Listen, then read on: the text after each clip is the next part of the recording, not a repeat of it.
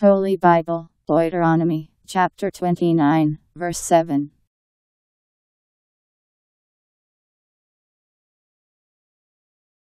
When you came to this place, Sihon, king of Heshbon, and Og, king of Bashan, came out to make war against us and we overcame them.